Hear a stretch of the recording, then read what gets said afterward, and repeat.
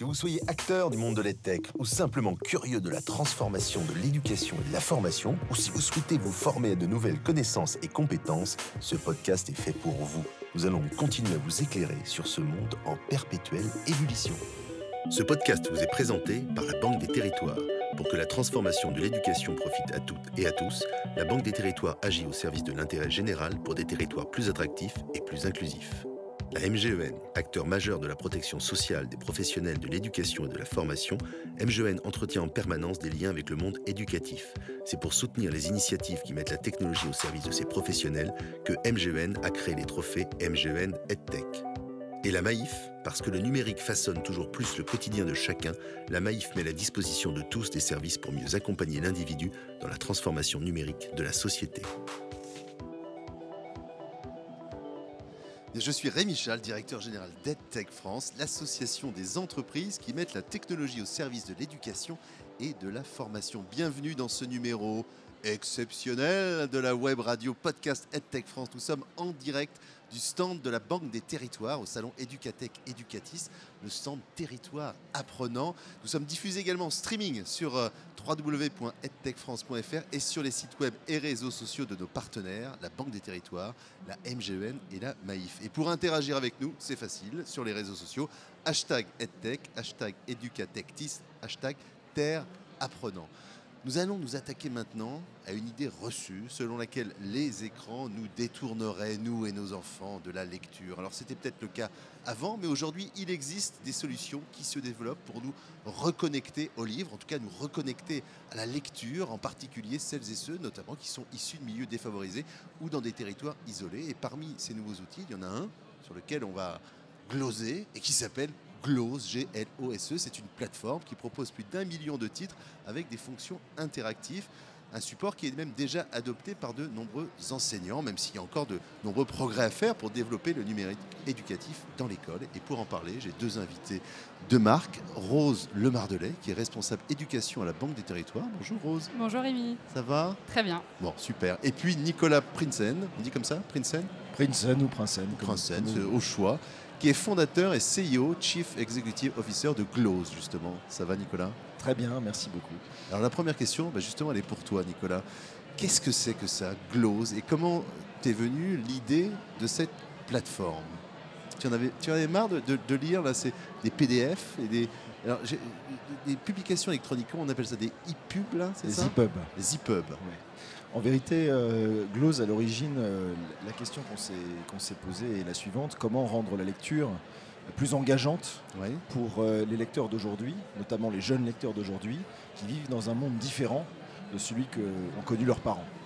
Et ce monde est différent parce qu'ils sont littéralement nés dans les écrans, euh, il faut voir qu'un adolescent aujourd'hui, à l'âge de 12 ans, passe en moyenne 2h30, voire 3 heures par jour sur son smartphone. J'en ai un à la maison, donc je, vois.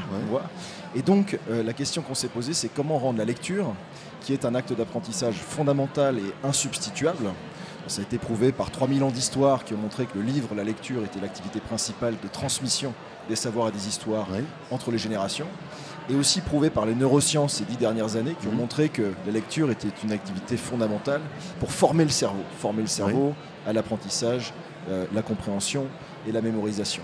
Du coup, on s'est posé la question comment rendre la lecture engageante pour cette nouvelle génération? Et pour la rendre engageante, il fallait penser à comment la rendre pertinente et engageante sur les écrans, parce que c'est là qu'ils passent leur temps.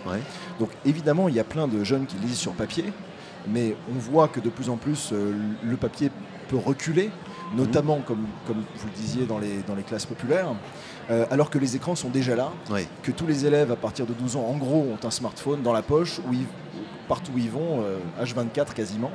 Et donc il y avait l'opportunité de créer une expérience de lecture qui soit engageante sur les écrans. Et pour ça, c'était un défi euh, multidimensionnel, mais le premier était un défi de format. C'est qu'en fait, quand, le quand, un contenu culturel devient numérique, en général, il est transformé. Pensez à la musique avec la naissance du MP3, pensez à la vidéo avec YouTube. C'est pas seulement numériser un contenu, mais c'est créer une nouvelle expérience mhm. autour de ce contenu. Le livre n'a pas eu cette transformation. En gros, on a numérisé le livre en reproduisant sur les écrans l'expérience du papier. Ou, on a créé de nouveaux outils comme la liseuse, peut-être. Tout à fait. La liseuse qui est superbe, mais qui est faite pour reproduire sur les écrans même l'expérience presque physique du papier. Et c'est très bien comme des gens pour vous et moi. Mais la nouvelle génération, quand elle est face à un écran, elle attend autre chose. Elle attend du partage, elle attend de l'interactivité, elle attend de l'engagement, de l'excitation, elle attend tout, tout, un tas de fonctionnalités et d'usages qu'elle n'a pas avec la liseuse. Oui. Et donc chez Glose, on s'est posé la question à peu près inverse, non pas comment reproduire le papier sur les écrans, mais comment faire levier sur tout ce que le, numé- tout ce que le numérique propose de spécifique et de supérieur ou de différent du papier. Et donc il y a quoi? Il y a le collaboratif, Oui. il y a le social, il y a la data, le tagage, Oui. il y a le partage, il y a l'interactivité, il y a le multimédia. Comment mettre tous ces ingrédients au service d'une expérience de, d'une expérience de lecture renouvelée, qui soit aussi une expérience d'apprentissage C'est ça la mission de Glose. Et donc Glose, pourquoi Glose Que ça veut dire Glose? C'est un mot très ancien qui vient du grec et du latin glossa, euh, qui désigne en fait la notion d'annotation dans les marges d'un texte. D'accord. Euh, les premiers textes sont arrivés jusqu'à nous parce qu'il y avait des gens pour les interpréter, pour les annoter, pour les expliquer, pour les partager. Et donc la glose, ça désigne en fait toute conversation qui entoure un texte pour le rendre plus accessible et quelque part plus engageant. Euh, c'est pour ça qu'on s'appelle glose et c'est une mission un peu historique qu'on se donne, c'est de penser l'expérience de lecture pour cette nouvelle génération sur les écrans. Il y a quelque chose d'original dans le développement de Glow, c'est que vous avez d'abord commencé par le marché américain et pas le marché français. Alors, j'ai une petite idée de la, la- la réponse à cette question, mais tu, tu vas nous la donner. Pourquoi? Alors, Glose, c'est une histoire à plusieurs chapitres, mais euh, le premier, en effet, ça a été de lancer une application de lecture grand public qui soit collaborative et sociale. Et Oui. ça, c'était nouveau à l'époque, c'était un défi technique très Quand important, tu dis à l'époque, c'est quand? C'est 2014. D'accord. C'était un défi important parce que c'était d'abord un défi technologique. La lecture s'appuie sur des formats comme le PDF, comme l'EPUB, qui sont des formats pour certains un petit peu datés, Mhm. qui datent d'avant le smartphone, qui datent d'avant Facebook et le web social. En gros, c'est un format du passé qu'on lit aujourd'hui sur des appareils quasiment du futur. Vous lisez un PDF sur votre smartphone, euh, clairement ça ne marche pas. Vous avez envie de faire autre chose. Et Oui. donc le premier défi a consisté à utiliser les technologies d'aujourd'hui pour en quelque sorte transformer les documents 1.0, PDF et EPUB, en expérience 2.0, où d'un seul coup le texte devient interactif, Oui. collaboratif, facile à sélectionner, facile à partager, facile à augmenter avec du contenu et facile à mettre en commun au sein de groupes de lecture. Donc ça, c'était la pensée originelle de Glose, plateforme grand public. La raison pour laquelle je suis parti en effet en 2014 à New York, c'est parce que pour faire une app de lecture du futur, il fallait non seulement une équipe technologique très forte, Oui. ça, c'était à Paris, euh, dans ma salle à manger, avec Arthur et Thomas, qui étaient mes premiers euh, développeurs et, et mes associés. Mais il fallait aussi du contenu. Il fallait des livres. Oui. Donc, il fallait des éditeurs qui nous fassent confiance pour qu'on distribue leurs livres numériques. Et la façon dont on, la, la réflexion que j'ai eue à l'époque, c'était que bah, puisqu'on fait du logiciel et qu'on a une vision un peu générationnelle et mondiale, il faut qu'on commence par les plus grands éditeurs de la Terre. Et quelque part, si on arrive à gravir l'Everest, on arrivera à gravir des montagnes un peu plus, un Ouais. peu plus modestes. Euh, c'est ce qui nous a poussé à frapper à la porte. Euh, Je m'en souviendrai toute ma vie, la première fois que je suis allé chez Penguin Random House à New York, qui est le plus gros éditeur mondial, Ouais. qui aux États-Unis, je crois, a 40% du marché du livre, grand public, une tour immense à Broadway qui fait euh, 50 étages. Je me suis dit, si j'arrive à avoir ces gens-là, C'était un Everest, quasiment au sens ah propre. ouais, avec mon, exactement, avec mon prototype sur cette mission qu'on se donne et cette innovation technologique, alors si j'arrive à avoir ces gens-là, tous les autres Ouais. suivront. Mm. Et c'est un petit peu ce qui s'est passé une fois qu'on a signé deux, trois gros éditeurs américains. Non seulement tous les autres ont suivi sur le marché américain, mais aussi euh, de retour en Europe, on a pu signer des éditeurs qui nous ont fait confiance parce que la solution avait été testée techniquement, en sécurité, en data, en tout ce qu'on veut, par, euh, par les éditeurs les plus, les plus puissants du monde.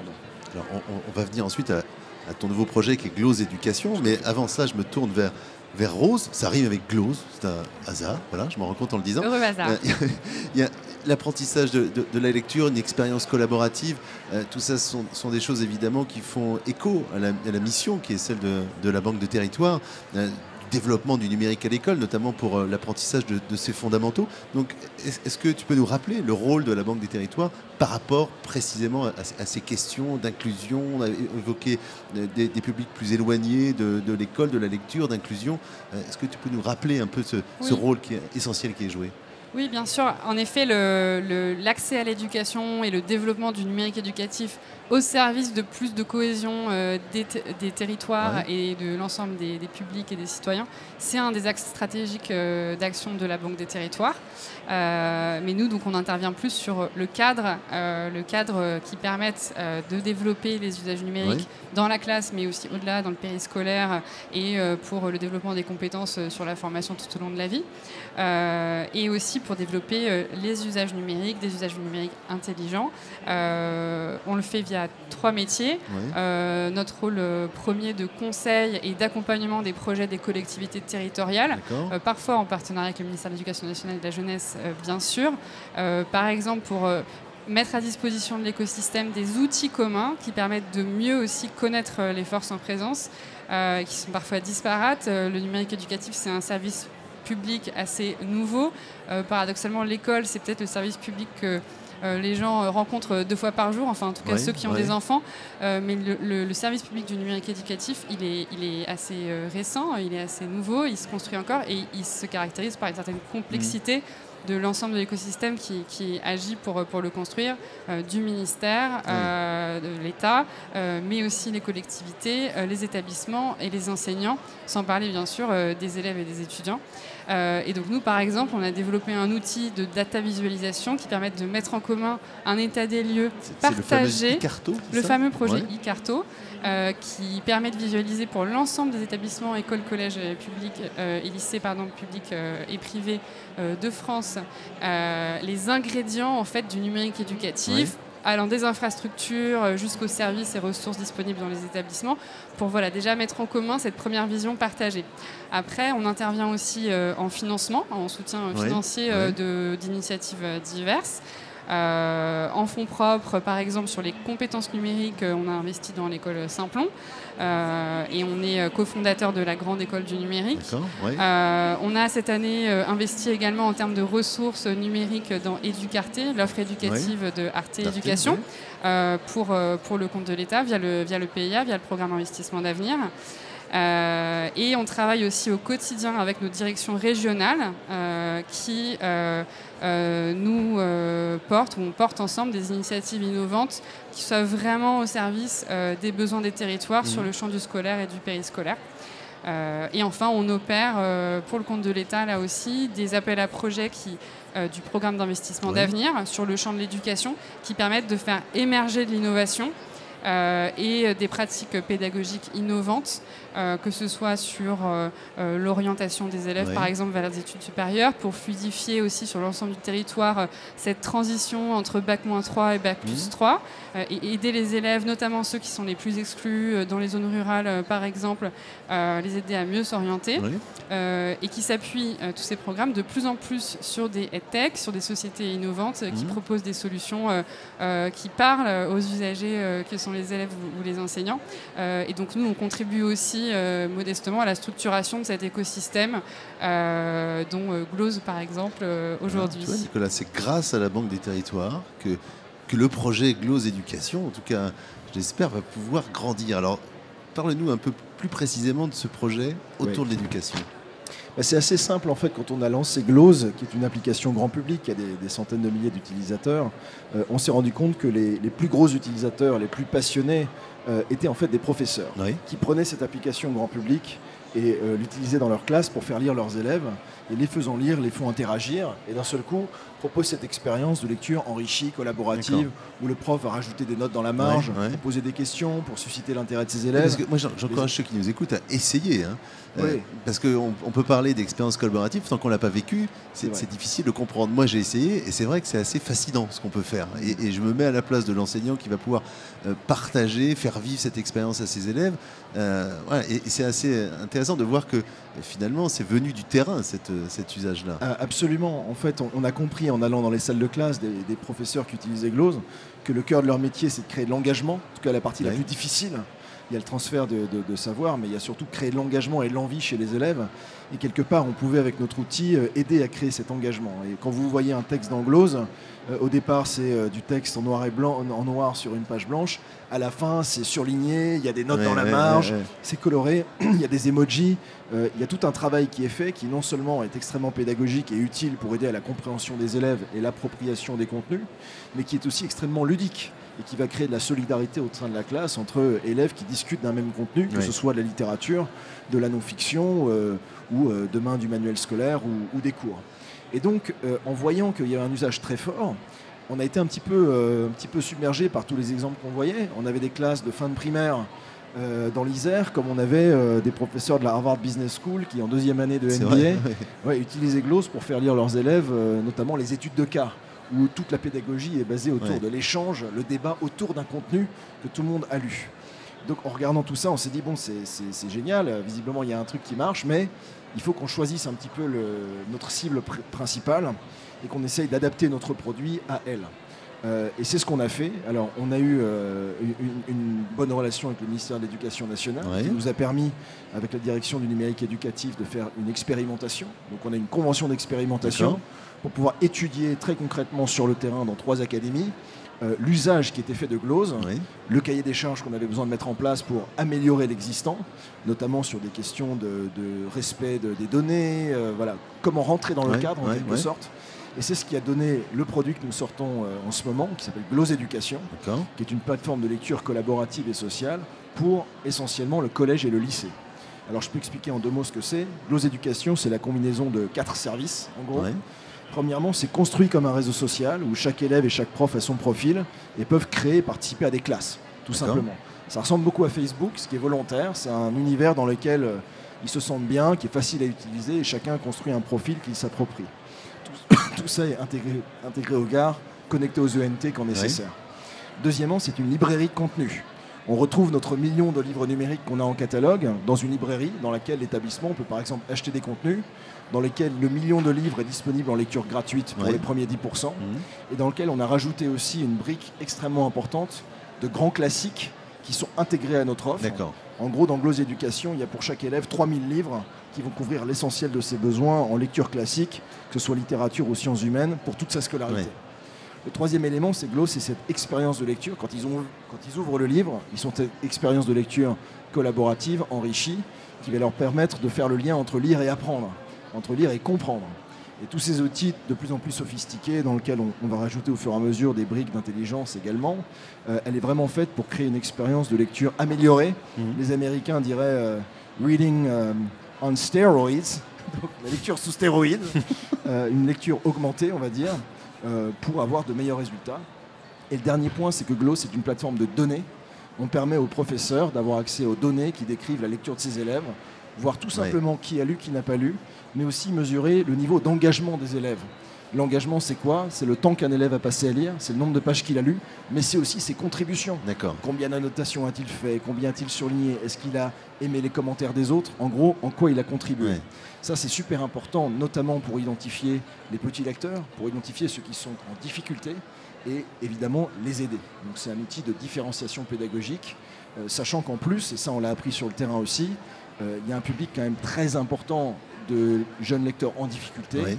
Euh, aussi bien euh, des lecteurs acculturés à l'univers du livre et de la lecture, mhm. que des lecteurs, bien sûr, avec des problèmes de dyslexie et de dyspraxie, pour lesquels on a intégré des fonctionnalités comme la fonte euh, Open Dyslexie, ou le text-to-speech, où un robot vous lit le texte, qui vraiment aide ses élèves.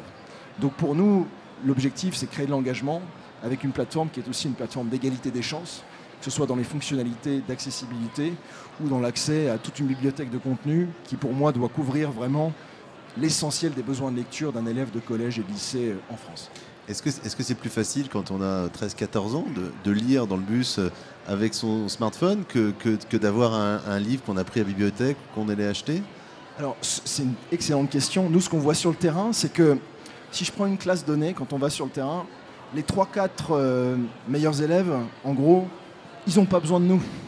Ils lisent déjà, ils ont des livres à la maison, ils ont des parents qui les encouragent à lire et ils sont très fiers d'être lecteurs. Il n'y a aucun problème. Pour eux, Glose, la valeur ajoutée, bon, elle existe d'échanger avec ses camarades, mais il n'y a pas un besoin fondamental.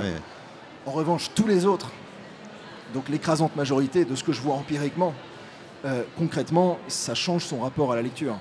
Il y a quand même, de ce que je vois, une majorité d'élèves qui n'ont pas forcément de, culture de la mmh. lecture, du livre, euh, à qui le livre peut faire peur, ou qui vont considérer le livre comme un objet un peu étranger et un peu ennuyeux.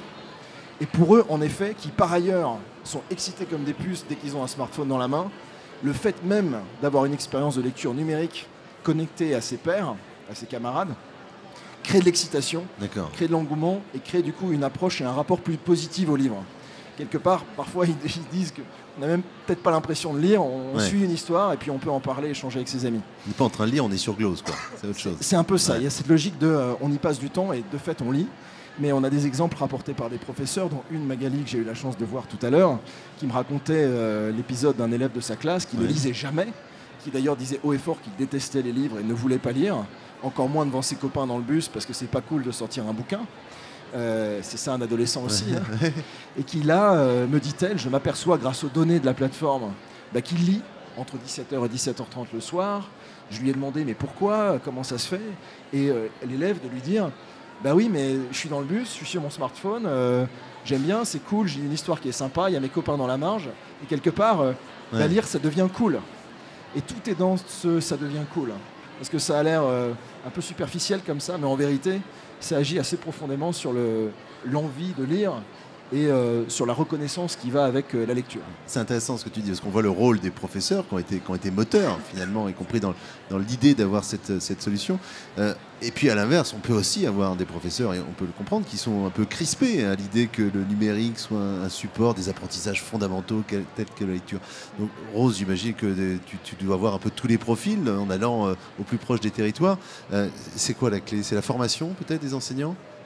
Bah, avant de parler de la réponse peut-être sur la question, c'est vrai que c'est un sujet très intéressant, euh, le, sujet de, du numérique, euh, numérique et apprentissage des savoirs fondamentaux, parce que ça cristallise en fait euh, à la fois ce que le numérique a le plus, le plus prouvé de sa capacité à diffuser les savoirs, et tu l'évoquais Nicolas, et en même temps, euh, l'apprentissage des savoirs fondamentaux, donc l'apprentissage de la lecture ou des mathématiques, euh, c'est un, champ où certains enseignants considèrent que le numérique n'a rien à faire. Mmh.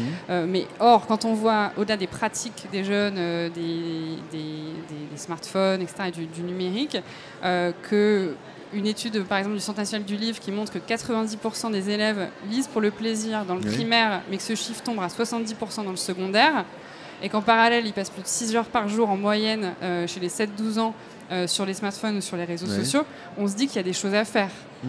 euh, pour développer des nouveaux usages et pour acquérir des nouveaux savoirs ô combien émancipateurs comme la lecture et la littérature pour, pour, des pour les citoyens de demain, pour former les citoyens de demain. Donc, donc, donc déjà, c'est un, sujet très, très important, je pense. Et, et, en effet, du coup, un des, enjeux, c'est l'accompagnement euh, notamment des enseignants. Euh, le sujet de la formation des enseignants euh, qui, qui, doit rester au cœur des préoccupations parce que concrètement, c'est eux qui font sur le terrain. et qui accompagnent ces transitions. Donc c'est un vrai sujet d'inclusion numérique aussi de, ces populations d'enseignants qui sont, qui sont sur, le, sur le terrain et dans des territoires parfois fracturés. Euh, et pour leur permettre de développer euh, les compétences numériques euh, qui permettent de, voilà, de, de vraiment alimenter leur, leur pratique mmh. professionnelle. Euh, et après, je pense qu'il y a un autre sujet aussi qui est important, c'est la question de, euh, euh, du, du, rôle des EdTech ou du modèle de EdTech qu'on veut développer pour demain.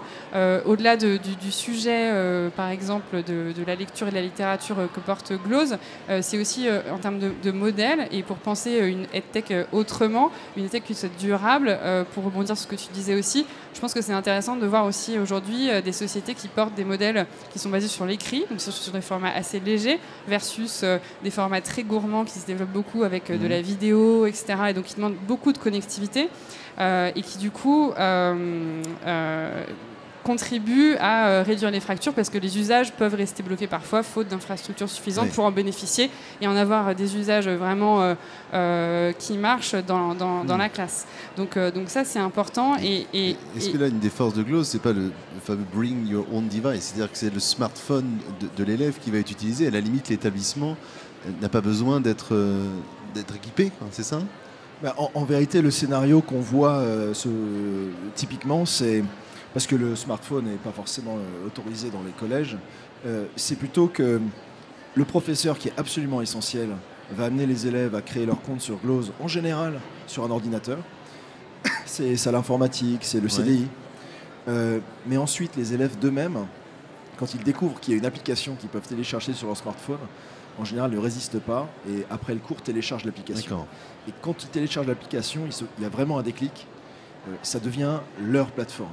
Ils se l'approprient beaucoup plus et du coup, on, augmente de, de, 200% les chances qu'ils reviennent dans le texte et lisent aussi en dehors de la, classe. En dehors de la classe. Ça fait la passerelle, l'outil devient une passerelle entre apprentissage, euh, école et, plaisir aussi. On va, on va continuer euh, aussi à la maison ce qu'on avait commencé euh, à, l'école. On va lire des textes vers lesquels on ne serait pas nécessairement allé et puis tout ça devient moins ringard hein, aussi. C'est ça, et puis on, va commettre cet acte pédagogique qui est un peu le, ce que le prof peut, atteindre de mieux, c'est-à-dire euh, au-delà de la, lecture, du, l'élève va continuer à la maison le texte qu'il a commencé en classe, va interagir avec ses pairs et avec le prof en dehors de la classe, mais aussi va peut-être cliquer sur la librairie pour aller découvrir parmi un million de titres euh, un titre qui va l'intéresser, qui va commencer à lire gratuitement et qui va en gros euh, lui provoquer de la lecture plaisir ou de la lecture d'intérêt, de curiosité. Euh, c'est vraiment une des spécificités de Glose que d'embarquer une librairie entière dans une application éducative, parce que c'est un vrai acte hmm. pédagogique, même presque citoyen, euh, que d'aller dans une librairie et les profs n'attendent que ça, que de pouvoir amener et encourager cette curiosité des élèves à aller découvrir des textes, des livres, ou, même des textes d'information, hein, pas forcément de la fiction, de la littérature, qui va les renforcer. Dans, tous ces, dans tous ces talks là, sur, le salon, il y, a, des mots qui reviennent. Euh, c'est les mots d'impact, euh, c'est les mots d'inclusion, euh, c'est les mots de valeur, c'est les mots de citoyen.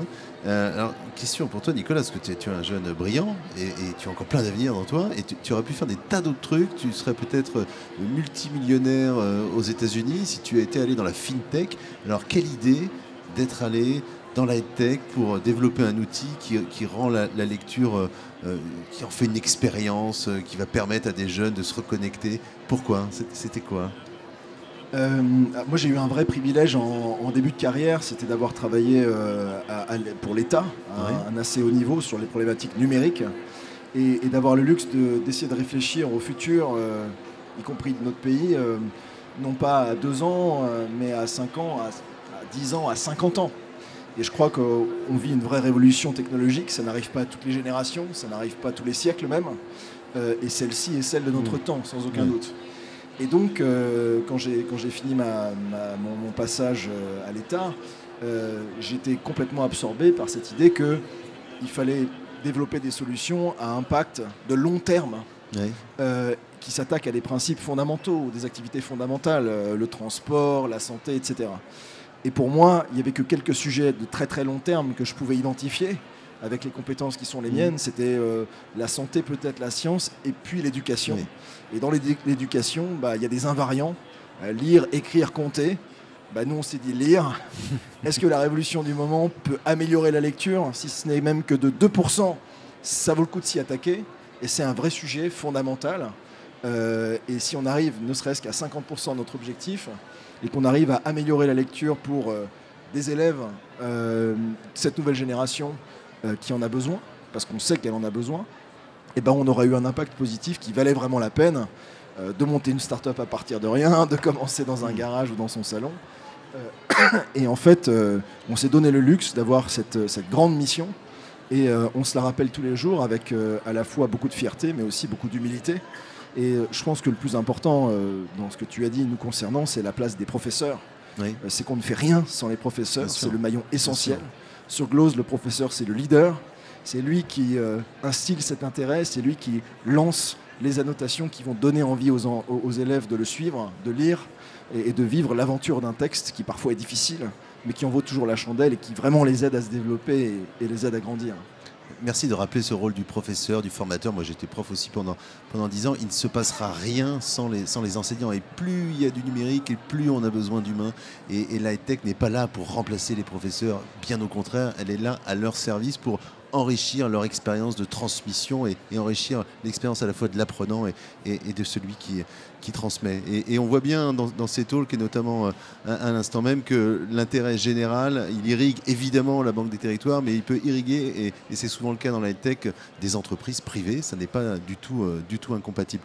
Euh, dernière chose, Rose, un livre hein, en particulier que, que, vous pourriez, que tu pourrais nous recommander, qu'on irait chercher sur Glose par exemple Oui, alors sur Glose, en papier ou sur n'importe quel support, je recommanderais à des jeunes lecteurs ou, moins jeunes un roman Clèves de Marie Dariussec, qui est un roman d'apprentissage en forme de variation sur le grand classique qu'est La princesse de Clèves, mais où l'héroïne est une, jeune, une jeune de 15 ans dans un petit village du Pays Basque. Et voilà, je pense que c'est un, super, un super roman à lire. Est-ce que tu t'es identifié à cette héroïne Rose, dis-nous tout. Pas du tout, malgré mes origines basques. Mais, ah. mais ce qui est intéressant, c'est qu'on voit aussi dans l'écriture, et donc je pense que ça pourrait faire l'occasion de, de, de débats entre, entre lecteurs euh, sur glose. Dans, dans l'écriture, on, ressent la langue, et notamment la langue basque, l'accent basque, etc., et les formes de, de diction aussi, même euh, d'une jeune adolescente. Donc euh, voilà pour lancer le débat. Est-ce qu'on peut utiliser glose en famille pour partager ensemble une expérience entre parents, grands-parents, enfants. Ouais. Oui, si tout le monde euh, lit le même texte sur Glose, ils peuvent échanger dans la marge euh, des notes, des questions, des commentaires ou des emojis. Ça marche très très bien les emojis pour décrire ses réactions, ses émotions. Euh, et je recommande la lecture sur Glose en, famille ou, entre amis. Ça, ça crée de l'excitation et concrètement, ça aide à lire plus parce que c'est parfois difficile d'avancer tout seul dans un texte. On n'a pas le temps, on n'a pas envie, c'est plus facile d'allumer la télé. Mais quand on a un groupe, c'est un groupe de lecture qui, nous encourage, euh, bah, non seulement ça aide à lire, mais ça aide à, échanger allumer la télé, mais, mais, plus personne ne fait ça. des, je parle vraiment comme, un moi. Et alors, ton, ton, livre, ton conseil Alors moi, je viens de finir sur Glose et je vous invite à, y aller, euh, glose.com. Euh, un livre absolument formidable qui s'appelle La fin de l'individu euh, par Gaspard Koenig, qui est un essayiste et qui est aussi un professeur à Sciences Po, qui, il se trouve, utilise Glose avec sa classe. Euh, pour quel hasard ses textes, quel hasard. Mais en, dehors de ça, c'est un livre que je trouve assez fondamental parce qu'il pose la question du futur de l'humanité à l'heure de l'intelligence artificielle et finalement pose une question qui est à l'heure de l'émergence de cette intelligence artificielle, qu'est-ce que l'humain? Et c'est un tour du monde de l'innovation absolument génial à lire. Euh, il va aux États-Unis, il va en Europe, il va en Israël, il va en Chine pour voir les grands acteurs de l'intelligence artificielle. Et il en revient avec cette idée que euh, le libre arbitre pourrait être menacé par un monde euh, d'intelligence artificielle. Mmh. Et donc il faut se reconcentrer sur ce qui fait l'humain. Et nous, c'est ce qu'on se dit tous les jours quand on nous dit que la lecture est une activité qui sera peut-être obsolète un jour. non, non. L'humain a un un cerveau et un cœur qui fonctionnent d'une certaine manière. Il y a des invariants de l'humanité, même s'il y a des évolutions. Euh, la lecture comme euh, moteur de la transmission, non mm. seulement du savoir, mais aussi des histoires, qui euh, met le lecteur dans la peau d'un personnage ou dans la peau d'un apprenant, ça c'est là pour rester. Et pour garder l'humanité, il faut au contraire le diffuser plus largement. Bien parfait pour ces deux conseils de lecture. Merci beaucoup. On rajoutera les liens de vos lectures dans, la description de cet épisode, évidemment. Merci à, tous les deux encore une fois. Avec plaisir. Et juste témoignages qui font écho les uns aux autres. C'est euh, glose.com, c'est notre euh, app de lecture grand public. L'application éducative, c'est www.glose.education point éducation. Alors ça c'est beau. Bravo. Merci encore une fois à tous les deux. Merci au public en délire qui est euh, face à nous euh, aujourd'hui. Tenez, je, jette des stickers à la foule, des stickers Tech France. Les gens se jettent. C'est complètement fou ce salon. Et Merci. Des fleurs. encore une fois d'être sur, euh, d'être venu dans cette web radio podcast EdTech France. Merci à tous ceux qui nous écoutent aujourd'hui, demain, en streaming, en live. Vous êtes de plus en plus nombreux à nous suivre. On se retrouve dans quelques instants pour un nouveau talk, toujours en, direct, toujours depuis euh, Educatech, Educatis, toujours depuis l'espace territoire apprenant, je parle sous le contrôle de Rose, de la Banque des Territoires. Merci et à très bientôt. Merci Rémi. Vous soyez acteur du monde de l'EdTech ou simplement curieux de la transformation de l'éducation et de la formation, ou si vous souhaitez vous former à de nouvelles connaissances et compétences, ce podcast est fait pour vous. Nous allons continuer à vous éclairer sur ce monde en perpétuelle ébullition. Si vous voulez nous suivre et nous soutenir, abonnez-vous au podcast EdTech France, disponible sur l'ensemble des plateformes d'écoute. N'hésitez pas à le noter, 5 étoiles, et en parler autour de vous. Vous pouvez nous retrouver sur nos réseaux sociaux. Merci à Maxime Maton pour la production de ce podcast et à notre journaliste Natacha Lefauconnier pour la préparation des interviews.